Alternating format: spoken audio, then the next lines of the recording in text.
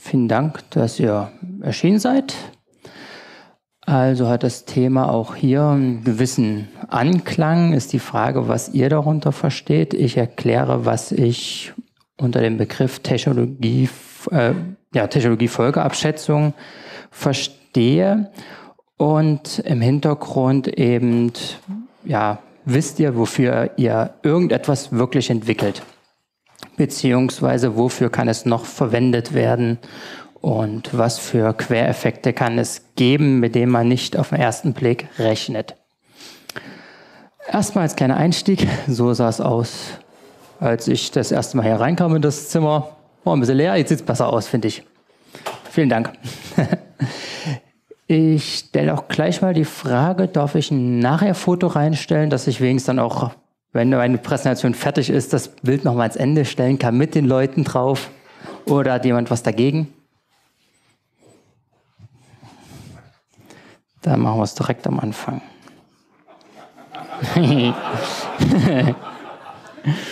ja.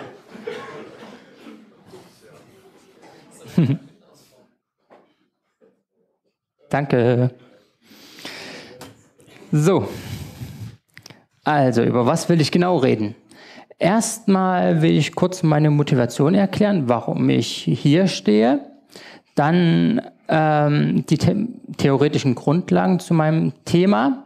Das ist, weil es eben sehr subjektiv ist alles und das ganze Stückchen weit zu objektivieren, dass man auch wirklich Vergleichswerte hat und auch wirklich gucken kann, wie analysiere ich jetzt mein, mein Programm oder meine Anwendung, die ich geschrieben habe, was sie wirklich macht. Ja. oder wozu kann man sie noch nutzen? Das ist ja das Entscheidende. Und dann komme ich eben zu einigen Beispielen und dann sind wir schon am Ende. Aber dauert trotzdem seine Stunde. Zu mir. Also, ich bin kein Theoretiker, ich bin doch eher ein Pragmatiker. Ich bin Entwickler und habe an der HTW studiert, also auch kein Uni-Abschluss. Bin seit fünf Jahren Vollzeitentwickler, mittlerweile teilweise auch Chefentwickler. Und die Open Source Gemeinschaft oder freie Software ist mir nicht unbekannt, weil ich schon meine Studienzeit viel mit Ubuntu Users.de mitgemacht habe. Und für mich ist dieser Vortrag in einer Art auch eine Retroperspektive über das Thema. Äh, ich bin in einer Unternehmensberatung tätig, habe jetzt schon einige Programme geschrieben und habe einfach mal selbst reflektiert, ja, was soll denn das denn jetzt hier und wie kommt man dazu? Und da gibt es den schönen Begriff, den ich in der Uni noch gelernt habe von meinem Professor Fuchs-Kitowski, ehemalig von der HU. Berlin, ähm, der ist sehr engagiert auch in der Gesellschaft für Informatik im Bereich Ethik und wirklich Technologiefolgeabschätzung. Und von dem kommt auch die kompletten theoretischen Grundlagen, die ich jetzt stückchenweise erklären will. Und sein Hauptfokus war immer gewesen, so die Wechselwirkungen, die auftreten, wenn man ein IT-Produkt in irgendeine Umgebung reinwirft und schaut, ja, wie entwickelt sich das jetzt? Und da hat er folgendes ähm, theoretisches Grundkonstrukt gemacht. Ich habe jetzt, er hat zwar selbst eine Grafik gemacht, aber die ist noch unübersichtlicher als meine. Ich habe so versucht zu vereinfachen, aber geht recht schwierig, dummerweise. Also, das sind verschiedene Ebenen, auf denen meine, auf denen man Programme oder so analysieren kann. Das erste ist, das Programm muss erstmal zur Verfügung gestellt werden. Es muss erstmal genutzt werden. Wenn es keiner nutzt, kann es keine Folge davon geben. Ganz einfach. Das nächste ist, man hat ein System. In dem System, das kann eine Firma sein, das kann einfach im Internet präsentiert werden, das können eben unterschiedliche ja, Präsentationsform sein. Und da drinnen ist dann so ein genannter Nutzungseffekt. Dieser Nutzungseffekt dient oder sagt aus, dass äh, wenn das jetzt genutzt wird, wie das, welche Effekte passieren können. Also das ist eben, wie Effekte entstehen können und das sind dann die Effekte, die auftreten. Ist jetzt alles sehr theoretisch auch geschrieben hier an der Stelle.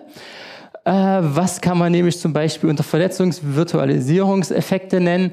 Das ist dann eher sowas gemeint wie äh, wirklich die Infrastruktur in einem Unternehmen. Wenn man jetzt, sage ich mal, anfängt, etwas zu machen, was die, äh, was wollte ich gerade sagen, ähm, was habe ich hier für Punkte? Äh, also wenn es wirklich was die Infrastruktur angeht, zum Beispiel man führt jetzt Virtualisierung im Unternehmen ein, dann ist es natürlich eindeutig was, was in den Vernetzungs-Virtualisierungseffekt zur Folge hat. Also wäre das Beispiel in dem Moment, wenn ich jetzt Virtualisierung in mein Unternehmen einführe, sage ich, gut, ich führe es jetzt ein, zack, Verfügbarkeit ist da äh, und dann hat man automatisch, wird das verändert und dann geht es eine Wirkung. Ursache ist das hier alles und die Wirkung ist dann auf verschiedene Ebenen abstrahiert, was passiert. Und das können negative wie positive Wirkungen sein. Genauso wie auch, äh, das sind so die Möglichkeiten, was eben auftreten, also wie das verändert werden kann, der Effekt, wie er verstärkt oder verringert werden kann über die Faktoren Zeit, äh, Effektordnung ist, wenn verschiedene Programme miteinander interagieren, in welcher Reihenfolge sie interagieren oder in welcher Ordnung, ob gleichgewichtig oder nicht, Gewichtung. Realisierungschancen, man kann eine tolle Idee haben, zum Beispiel, ich baue mir jetzt die Enterprise nach, Realisierungschancen sind recht gering. Also braucht man darüber auch weniger zu reden oder politische Handlungsoptionen. Also was ist, wenn die Politik mitspielt? Das kann innerpolitisch sein. Zum Beispiel wird gesagt, ich will meine Anwendung ja, ist, die Gewerkschaft oder so spielt rein. Oder die Unternehmensführung sagt, ach, der Typ ist mir unsympathisch, wenn der was umsetzt, das lassen wir mal. Oder es kann auch großer politischer Rahmen sein, die DSVGO ist das aktuellste Beispiel dafür, wie das jetzt die Unternehmen umgekrempelt hat. Und dann ist die Frage, die wirken sich dann auf, aus auf diese Effekte, und das ist, kann eben unterschiedliche Ausprägungen sein, kann sich negativ auswirken, kann sich positiv auswirken. Und ähm, Kommunikationseffekte wäre jetzt zum Beispiel äh, etwas, was die Kommunikation im Unternehmen oder auf irgendeiner Ebene verändert. Also man hat ein ganz altes Unternehmen, man schreibt noch Briefe vielleicht und auf einmal E-Mail erhöht ja den Zeitauf äh, verringert den Zeitaufwand, um Nachrichten zu übermitteln. Entscheidungsorganisationseffekte ist so das Entscheidende für Business-Software, die ja den Geschäftsprozess anpassen. Dann wird also, man macht etwas, um die Geschäftsprozesse zu unterstützen. Erkenntnis-Beherrschungseffekte, dazu komme ich später, da ist ein Beispiel dafür besser. Und Rationalisierungs- und Automatisierungseffekte hat meist auch noch einen Entscheid, also einen Organisationseffekt. Wenn man den Betriebsablauf unterstützt mit IT, wird es ja meistens hoffentlich effektiver. Und dadurch gibt es dann teilweise Rationalisierungseffekte bzw. Automatisierungseffekte, die es vereinfachen.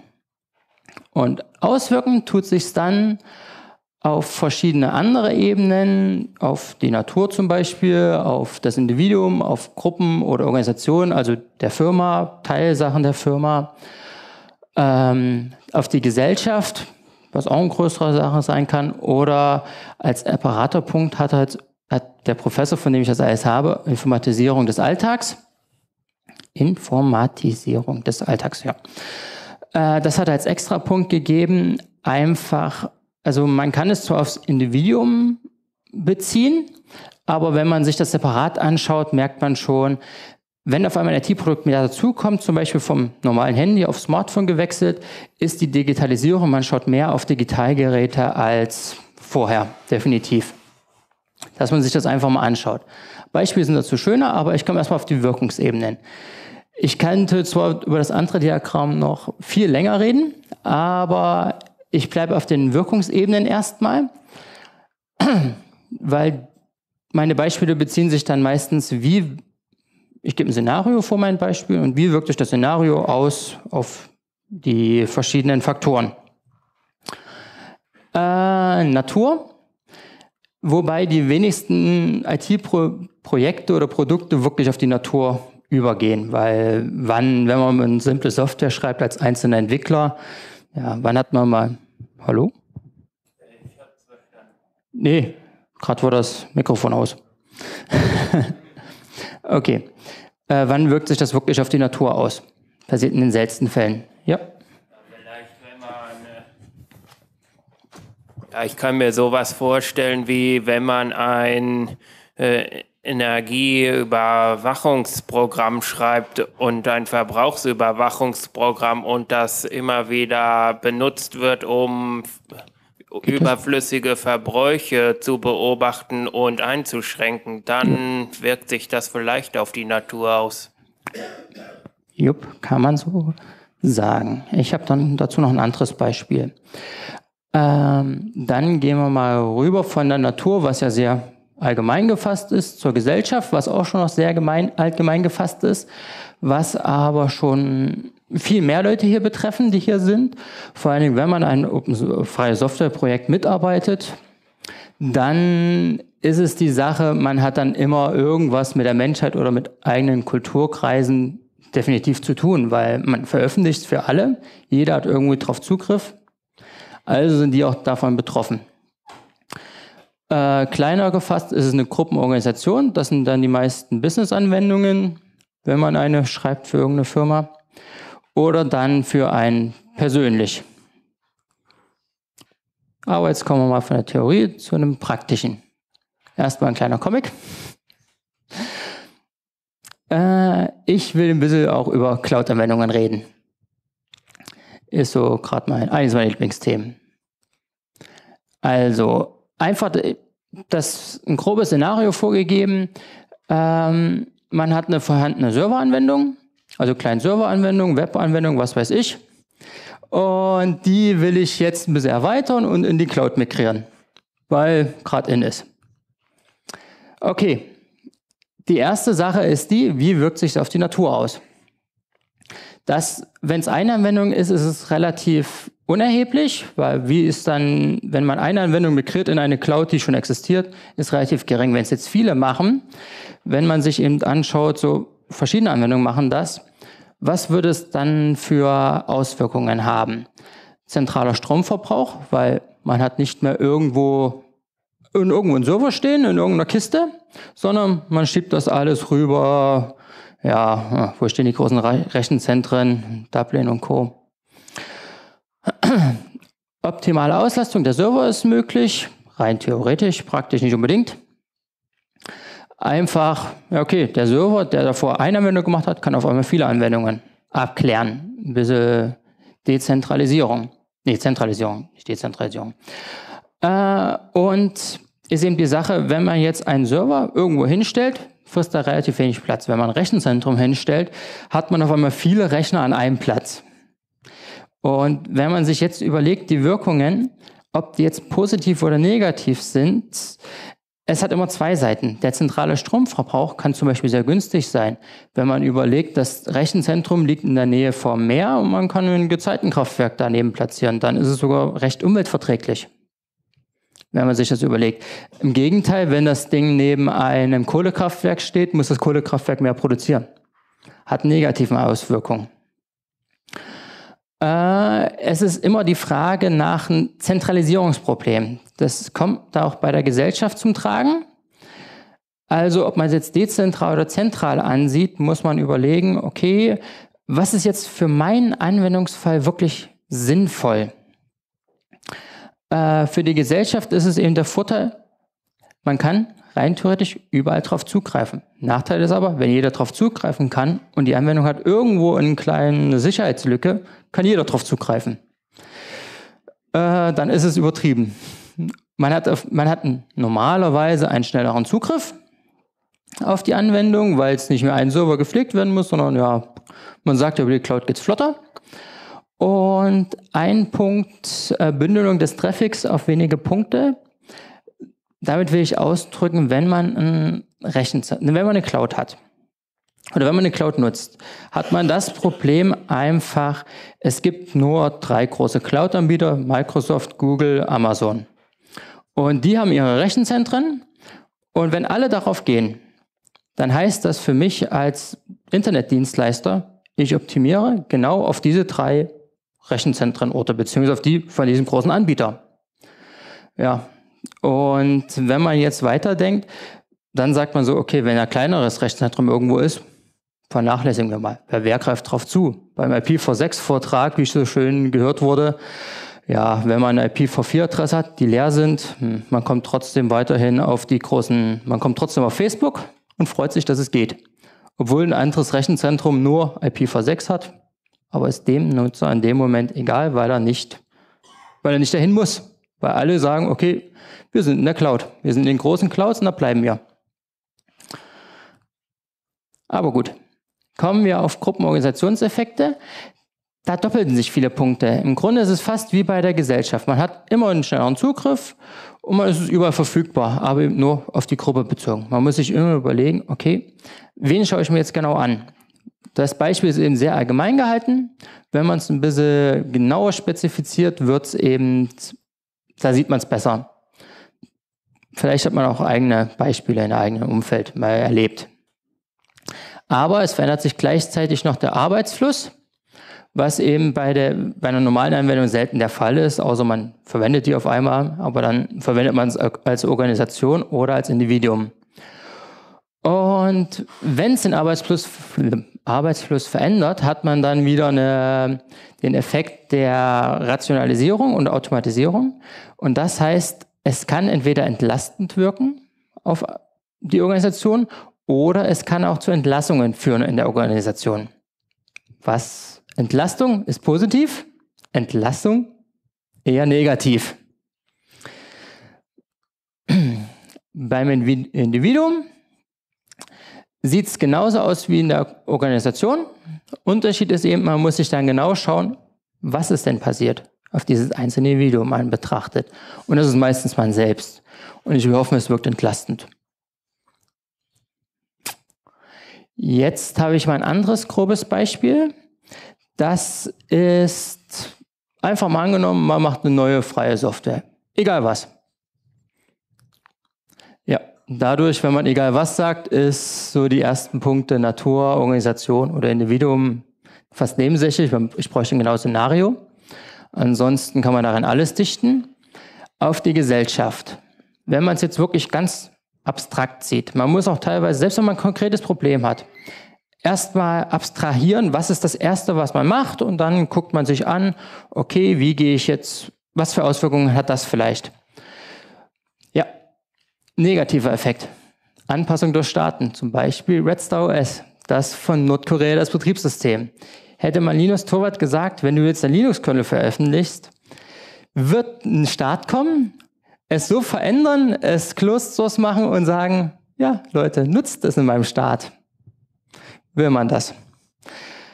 Aber man kann nicht alles denken. Es hat aber auch positive Sachen. Zusammenführung von Menschen und Wissensbildung, zum Beispiel Frostcon.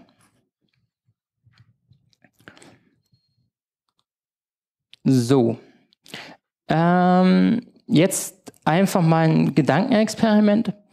Ich will ein neues Community-Projekt gründen und überlege mir, ich will jetzt keine Software machen. Ich gehe jetzt wirklich davon aus, ich will jetzt ein neues Projekt gründen. Ich habe als Infrastruktur GitHub, was weiß ich. Und will jetzt sagen, jo, was passiert? Ich habe es veröffentlicht und habe es so ein bisschen äh, Realisierungschancen, ist, sage ich mal, vorgekommen, indem ich das hier promote. Und jo, und dann ist eben die Sache, es kommt zum Kommunikationseffekt, sobald man es promotet hat, über eine, also nachdem man es veröffentlicht hat, nach der Zeit, kommt so zum Kommunikationseffekt mit anderen Menschen. Und wir können uns überlegen, okay, wie entwickeln wir das jetzt? Und daraus entsteht dann irgendeine Idee und aus der Idee wirkt sich das dann aus auf die Person, die es gemacht hat, indem sie ein kleines Erfolgserlebnis hat, weil man ja mit jemandem kommuniziert hat über ein Thema, was man will.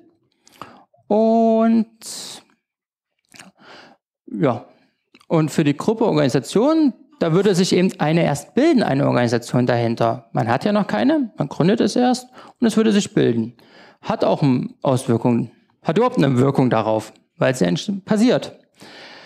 Äh, Erkenntnisgewinn passiert nämlich auch über die Zeit.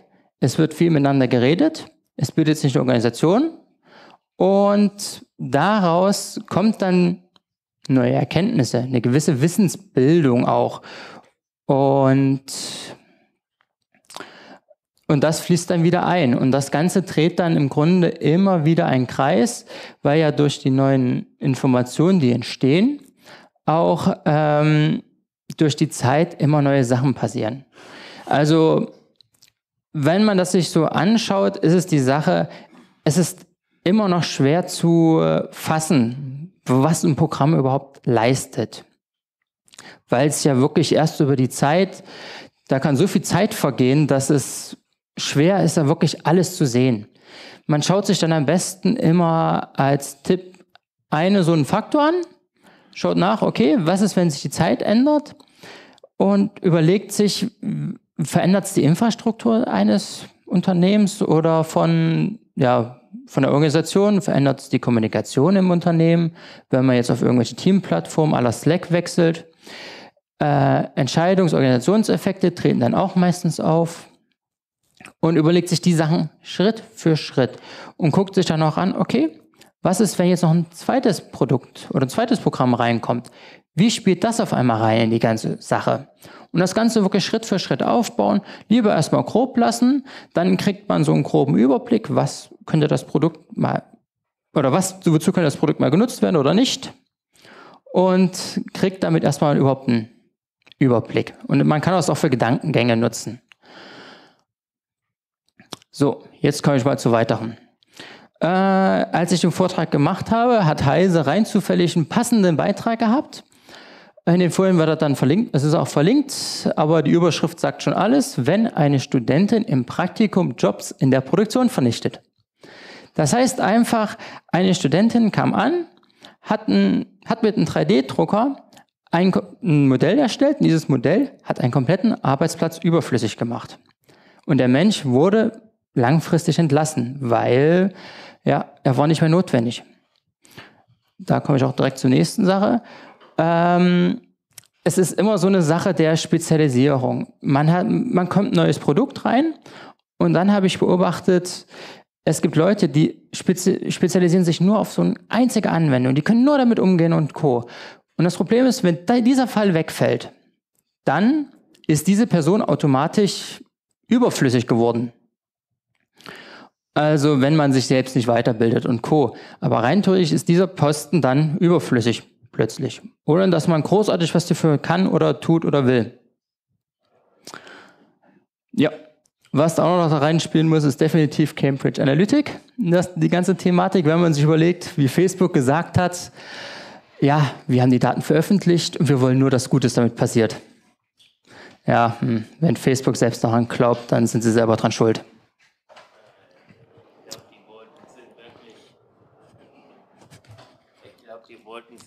Hört man das überhaupt?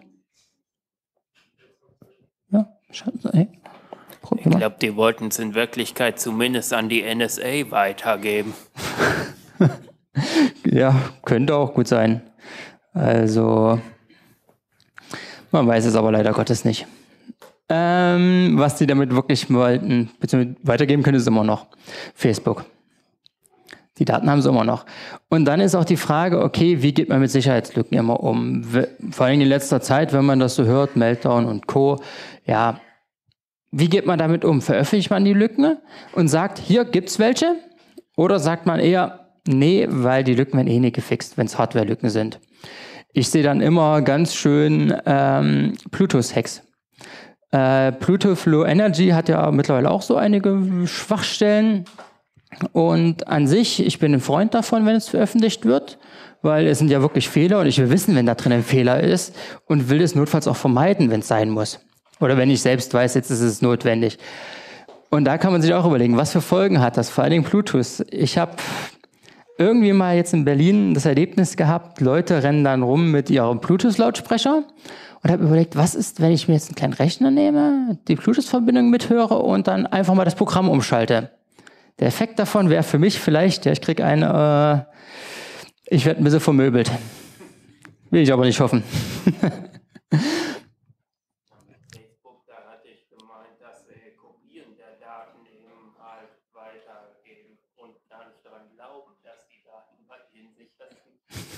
Ja, also Facebook ist sehr naiv in der Beziehung gewesen. So, jetzt komme ich zu einem kleinen Teil, was ich eben auch selbst teilweise erlebt habe. Ähm, ich berichte hier definitiv nichts über etwas, wo meine Firma dagegen sagen könnte, nee, sorry, ist, ich will jetzt hier keinen kompromittieren. Also, ähm, das erste, was ich selbst gemacht habe, das spielt sehr groß rein auch in die Rationalisierungs-, Automa Automatisierungseffekt. Ich habe eine Anwendung entwickelt. Ein Mitarbeiter hat einen halben, hat halbtags wirklich was Stupides gemacht. Wenn man das machen würde, ich hätte nach einer Woche gekündigt. Aber er hat es trotzdem fleißig durchgehalten. Respekt für ihn. Ähm, und ich habe es geschafft, innerhalb von zwei Tagen Aufwand, Tagen Programmierarbeit, eine Lösung zu schreiben, die das, die Arbeit komplett überflüssig macht. Das Schöne für ihn war gewesen, er, wurde wieder zu er konnte wieder das machen, was er wollte. Er hat einen Entlastungseffekt gehabt. Er konnte die Sachen machen, für die er ursprünglich mal eingestellt worden ist, nicht die stupide Aufgabe, die er dann übernommen hat. Ist natürlich sehr positiv für den einen Anwender. Ähm, dann ist es mir einmal, habe ich was für eine Rechtsabteilung gemacht. Da habe ich einfach nur ein simples Excel-Tool, wirklich mit Excel was Simples programmiert, womit man einfach Excel-Dokumente, also Excel-Tabellen auf eine andere Art durchsuchen kann. Und ja, wenn man sich überlegt, Rechtsabteilung, mir wurde gesagt, ja, falls die jetzt mal wieder ein anderes Land, was irgendwas herstellen, die Inhaltsstoffe auflisten, dass die gucken können, wo, wer hat wo Rechte dran. Ja. Ähm, da ist die Sache, ja, es ist eine Rechtsabteilung, muss man immer überlegen. Die haben es zwar jetzt ausgedrückt positiv, dass sie gucken, wo es, wo sie selbst betroffen werden, aber sie können genauso gut, wenn sie den Datenbestand haben, das ganze Tool auch andersrum verwenden und sagen, okay, ich verwende es jetzt dafür, äh, selbst irgendwelche Rechtsverletzungen nachzuverfolgen und dann Leute anzuklagen. Und dann ist die Frage, will ich selbst als Entwickler auf die Idee kommen, diese überhaupt so ein Prinzip zu unterstützen, die ganze Patentindustrie zu unterstützen, was dem dann reinspielt in die ähm, Beherrschungseffekt im Sinne von, okay, ich beherrsche jetzt meine Daten besser durch meine Anwendung, die ich realisiert habe. Und es unterstützt den Entscheidungsbaum, okay, ist das Produkt, was jetzt hergestellt wird, oder ist es jetzt dafür da, dass es irgendwelche Patente irgendwo verletzt werden? Und da muss man selbst teilweise überlegen, will ich das? Weil der erste Anwendungsfall habe ich immer gelernt, wenn man den hört, sollte man ihn vielleicht mal kurz überdenken und überlegen, auf wen wirkt sich der wirklich aus und Co. Also das kann ziemlich tief, ja, man könnte natürlich noch mehr Kreise drehen in der Anwendung, aber ja, wie wirkt sich das immer aus? Ähm, und ja, wenn ich das überlege, die Rechtsabteilung, wenn ich jetzt mir genauer anschaue, äh, Zeit, die Anwendung, also ja, die Anwendung wurde zur Verfügung gestellt. Zeit spielt eine relativ untergeordnete Rolle, weil die Daten waren schon da, sie haben es schon immer ausgewertet. Ich habe es bloß ein bisschen effektiver gemacht, die ganze Sache. Äh, Gewichtung spielt nur eine Rolle, wenn viele Produkte reinspielen. Das war hier nicht der Fall, weil es zu kleine Sachen hat, genauso wie die Effektordnung, weil es nur um ein Produkt geht. Äh, beziehungsweise das hätten die Vorentwickler bedenken müssen. Was ist, wenn jetzt noch mehr Sachen hinzukommen? Excel ist ja meist am Ende der ganzen Reihe, außer wenn man noch hinten dran eine Schnittstelle zu einer anderen Anwendung baut. Äh, Realisierungschancen waren sehr hoch, weil es ist dummerweise umgesetzt worden. Äh, politische Handlungsoptionen. Wegen den politischen Handlungsoptionen ist dieses Problem ja erst aufgetreten die Rechtsabteilung. Also nur deswegen gibt es ja überhaupt Patente, weil ja die Politik mal gesagt hat, wir erlauben Patente. Ihr könnt euer Wissen schützen, was ja auch irgendwo sinnvoll ist. Hm? Hallo? Ja. Außer der äh, Dauer der Gültigkeit unterscheidet nun Patentrecht vom Urheberrecht. Ja, Patent- und Urheberrecht. Ja, da muss man dann auch nochmal schauen, was eben wie wo reinspielt und man es braucht. Aber bei mir war es wirklich Patentrecht, nicht Urheberrecht unbedingt.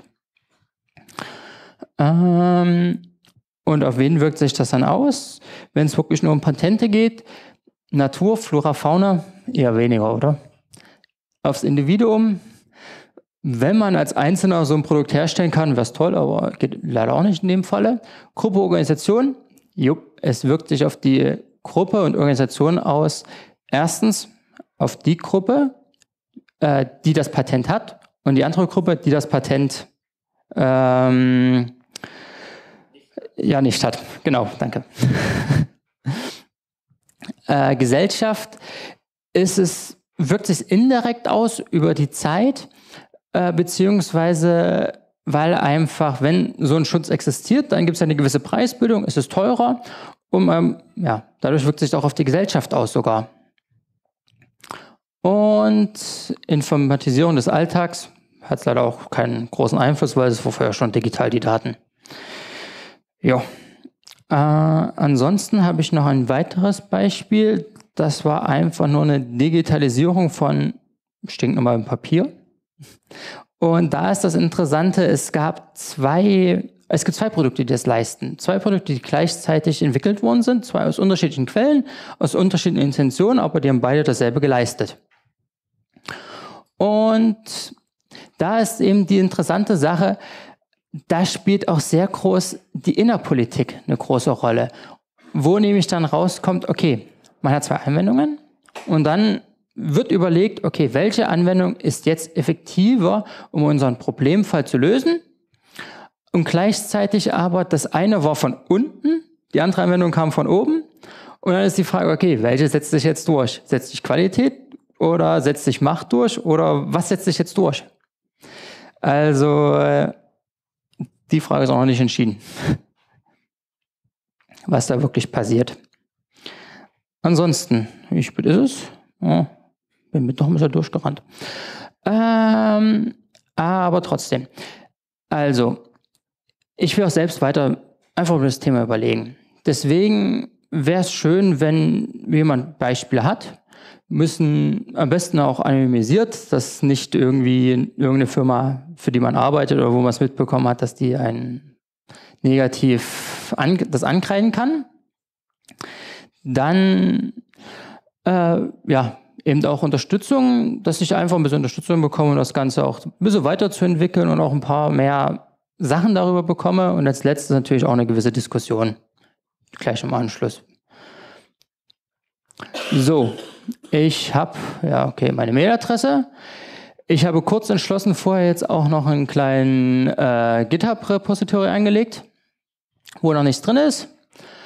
Aus Interesse, äh, Präsentation erstellt mit Reval.js als Entwickler, als Webentwickler. Ist ein geiles Tool. Und die Grafiken sind mit Grafis erstellt worden. War beeindruckt, dass es so einfach ging.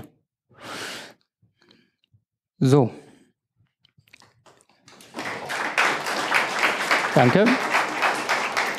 Fragen, Anregungen, Beispiele oder irgendwas aus dem Umfeld, was man selbst sagen kann? Hallo. Also ich hätte, glaube ich, ein ganz gutes Beispiel. Ähm, Torrents, ganz geile Sache. Wir hm? können wunderbar Daten verteilen, schnell, paketchenweise. Ähm, Folgen waren, äh, viele Leute sind dadurch arm geworden und ein paar Leute reich. Äh, Anwälte zum Beispiel. Ähm, hat sich der Entwickler der Torrents wahrscheinlich vorher auch nicht so gedacht. Ne? Ja. ja, man weiß es nicht. Geile Technologie, aber vom Prinzip her. Ja. Hm? Ja, vielleicht noch zu den Torrents. Äh, ne? Wir sind in einer liberalen Gesellschaft, es muss jeder selber wissen, was er tut. Äh, Soweit dazu. Ähm, bei der Folgenabschätzung ist natürlich auch äh, eine spannende Sache. Das beißt sich ja so ein bisschen vielleicht auch mit dem Open Source Gedanken, weil, oder überhaupt dem Open Gedanken, weil da ist ja eine Voraussetzung sozusagen die Zweckungebundenheit. Ja, also man kann ja bei einer Software nicht sagen, und ich verbiete, dass es totalitäre Systeme einsetzen. Copyleft? Wie? die Copyleft-Lizenz schränkt ja wirklich ein, dass ja, das man ist, es nein, aber nicht, ein paar Sachen. Nicht den Zweck. Ja, okay. Nicht den nicht. Zweck. Ja. So, ne? Also von daher, ähm, ein Teil von Open Source ist schon, nehmt den Code, geht verantwortungsvoll um, aber was ihr letztendlich damit tut, ist eure Sache. Äh, wichtig ist uns nur, frei sein muss er. Ja. Ja, GIS-Anwendungen stimmt. Da habe ich jetzt auch schon ein paar Sachen erlebt. Zum Beispiel macht es ja dieser, die haben ja auch OSM-Maps, verwenden die im Hintergrund und an sich verdienen die nur Geld mit den Fahrrädern verleihen. Naja. Sonst noch irgendwelche? Ah, da ist noch einer. Sehr schön. Welche Schlussfolgerung muss man denn jetzt daraus ziehen, wenn man seine Technologiefolgenabschätzung gemacht hat? Ähm, Es bleiben lassen, wenn es Folgen geben könnte, die man nicht ist- beabsichtigt hat? Es ist schwer zu sagen. Entstanden ist die ganze Thematik ja damals von nach dem Zweiten Weltkrieg.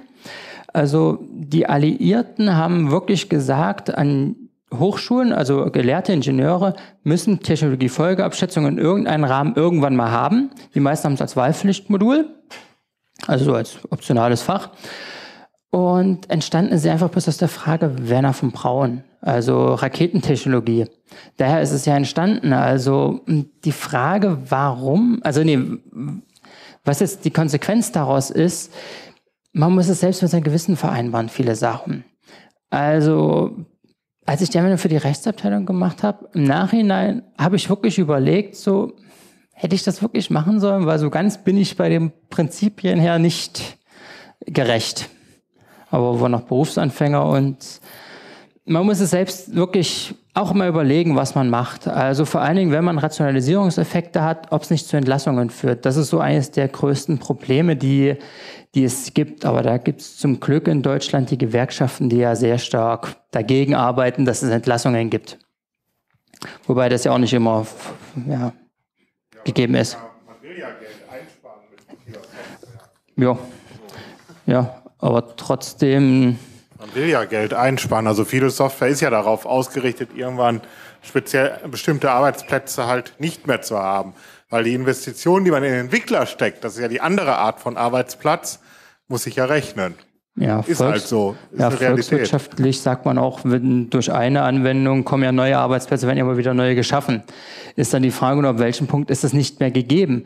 Und dann hat man ja die Frage des, ähm, der Spezialisierung von einem Arbeiter. Wenn ein Arbeiter nur eine Sache kann, der kann nur eine Sache montieren und auf einmal kommt ein 3D-Drucker, der das macht. Der 3D-Drucker muss natürlich gewartet werden, die Software muss geschrieben werden, die Modelle dafür müssen modelliert werden. Aber das kann dummerweise nicht mehr dieser eine Mensch machen, der vorher das Ding per Hand hergestellt hat. Genau, deswegen. Ich habe ja in der IT-Branche, sieht man ja auch hier jede Menge Jobs, ganz viele, aber dafür sind andere Jobs halt eben nicht mehr da. Das ist halt ein Wandel der Gesellschaft in dem Ja. Fall. Genau. Und, äh, und das ist auch ein großer Punkt immer. Die Gesellschaft wandelt sich dadurch. Das ist auch ein Punkt, den hab, hätte ich ein bisschen mehr herausheben können. Das stimmt. Ja, je, je, je universeller die Software je universeller die Software einsetzbar ist, desto äh, größer sind natürlich die Einsatzmöglichkeiten für, äh, für Zwecke, die man selber nicht beacht, beabsichtigt hat. Ja. Also alles, was Softwareentwicklung an sich zum Beispiel effizienter macht, sei es Tools wie Jenkins oder überhaupt ein Compiler. Ja, das macht es überhaupt mal prinzipiell möglich, Dinge zu entwickeln oder effizienter zu entwickeln. Ja. Natürlich auch für militärische Zwecke, Dingen für hilft was auch immer, was man vielleicht nicht, nicht gewünscht hat. Ist halt die Frage, sollte man es deshalb bleiben lassen oder bringt es mehr Gutes als Schlechtes? Hätte man das Internet überhaupt erfinden sollen? mit den ganzen Risiken, die es mit sich gebracht hat? Aber andererseits ist es so super praktisch. Ne? Jeder benutzt es. Ja. ja. Also es ist schwer zu sagen. Also allein wenn man sich schon, auch eines der ersten Beispiele, wenn man Technologie-Folgeabschätzung macht, ist immer die Atomenergie. Atomenergie an sich, wenn man sie unter Kontrolle hat, ist okay. Irgendwo, weil es ja, es ist doch sauber irgendwie und es bringt gut und stabile Energie. Problem ist bloß, ja, Atomwaffen und was machst du mit dem Müll nachher? Hm. Und bei der Atomenergie sage ich dadurch eindeutig, ich bin dagegen. Egal wie gut sie ist. Zumal sie ja ursprünglich mal eingeführt wurde, um Nachschub für die ähm, Atombomben zu kre kreieren. Ne? Ja, davon abgesehen. Ansonsten hier? Geht es äh, jetzt einfach um, Beisp äh, um Beispiele für Programme, die und was die für Auswirkungen haben oder haben können? Ja, also es ist eben ein weit gefasstes Gebiet. Also ob es jetzt auf Programme geht oder auf einfach nur, ja, ob Programme oder Technologien. Das ist immer so die Sache. Also wie wirkt sich eine Technologie aus? Ursprünglich kommt es ja wirklich von Ingenieuren und Informatik kann es natürlich sich auch abschauen, viele Prinzipien, wodurch eben auch die Info Informatisierung des Alltags entscheidend ist.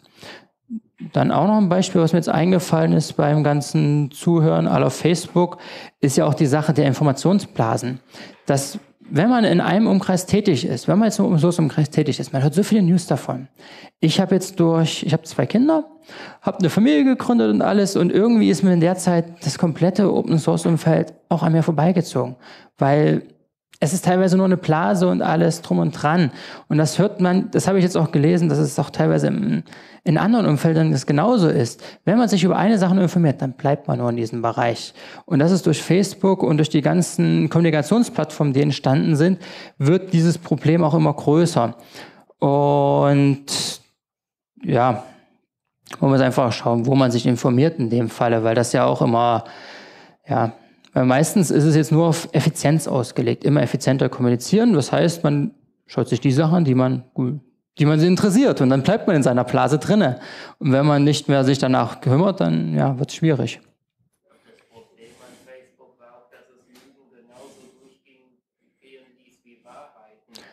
Ja, aber wie will man Lügen und Wahrheiten wissen, ob es das ist? Das ist die Sache. Ich kann hier auch alles erzählen. Ja, also woher willst du wissen? Ja, woher will man wissen, dass etwas wahr oder falsch ist? Das ist auch immer ein großes Problem. Ganz einfach. Ansonsten, ja, irgendwie ging das doch alles schneller als gedacht. Ähm, sonst noch Fragen, Anregungen oder irgendwas anderes?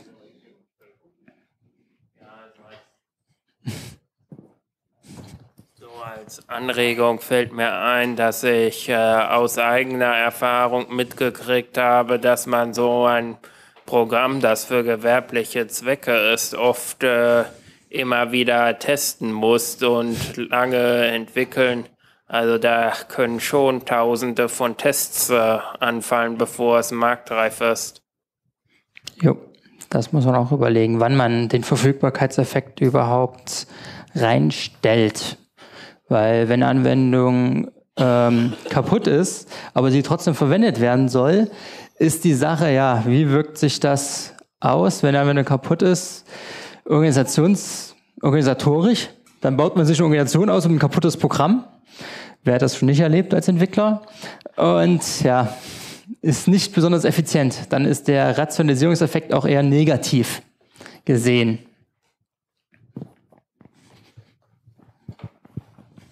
Ich denke, ein schönes Beispiel für äh, Software, deren Folgen man nicht unbedingt in ihrer äh, vollständigen Gänze jetzt auch noch nicht absehen kann, ist die äh, sogenannte Schummelsoftware bei VW und den Dieselautos. also was die noch für Effekte äh, zeitigen wird, äh, da warten wir, denke ich, alle noch drauf. Ja, aber da ist die Sache, da hätten sich die Ingenieure auch mal kurz überlegen sollen, wenn ich so eine Software herstelle, mit der Begründung, wir wollen es ja bloß testweise machen ja, das ist schon sehr naiv, finde ich. Also es gibt so Sachen, die sollte man nicht umsetzen. Also ich habe mich um ehrlich sein auch schon mal geweigert, was umzusetzen. Also.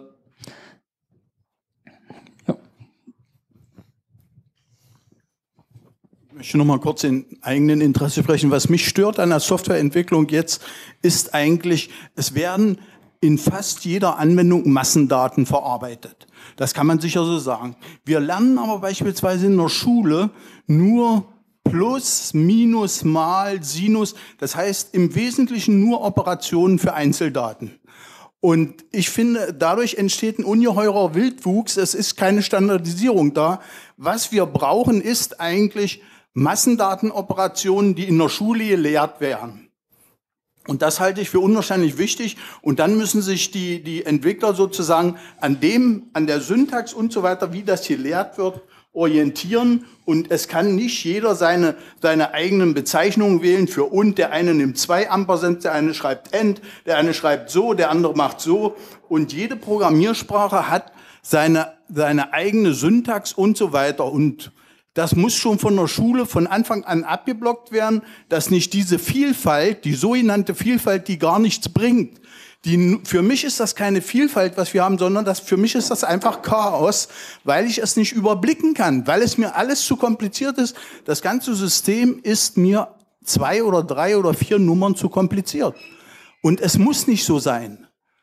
Und ich will eben dafür einsetzen, dass man sozusagen lernt, wie selektiert man in großen Tabellen. Tabellen sind die Abstraktion von, von Datenbankinhalten, wie, wie selektiert man in Dokumenten und so weiter, dass man hier Standards hat, die vermittelbar sind. Wenn ich an XQuery denke oder sowas, das ist nicht mehr vermittelbar. Das sind all, und das müssen natürlich allgemeine Konzepte sein und da kann es nicht sein, dass ich für jede Anwendung da irgendwie was anderes mache und da kein Gesamtkonzept dahinter steckt. Das ist das, was ich noch sagen wollte. Ja, das geht auch in die rein Richtung Standardisierung von Problemen. Wenn man einfach überlegt, ja, okay, Mengenlogik ist ja doch, um eine Menge zu handhaben, aber es ist ja ein sehr theoretisches Konstrukt. Wie wird es umgesetzt? Also wie viel SQL-Dialekte gibt es? Vor allem dann, wenn man in die Programmierung reingeht, das wird dann schon sehr interessant. Dann ist ja die Frage auch noch des, ähm, wie machen es andere Programme? Wie stellen andere Programme irgendwelche Filter dar? Wie kann man in irgendwelchen Programmen auch eine Suche ausdrücken? Da gibt es so viele Syntax-Sachen. Also ja, das sind die Standardisierungen. Da muss man auch schauen. Okay, das hängt dann eher auch zusammen. Da müsste es eigentlich politische Handlungsoptionen oder politische Optionen existieren, die das bisschen vereinheitlichen, um das Problem zu lösen.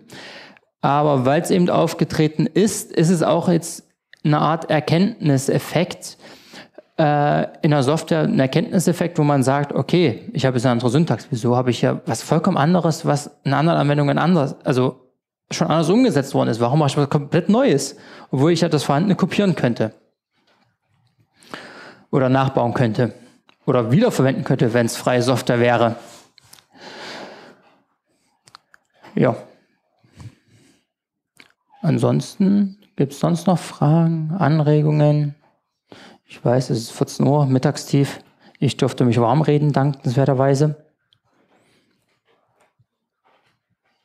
Ansonsten würde ich auch jetzt beenden. Ne?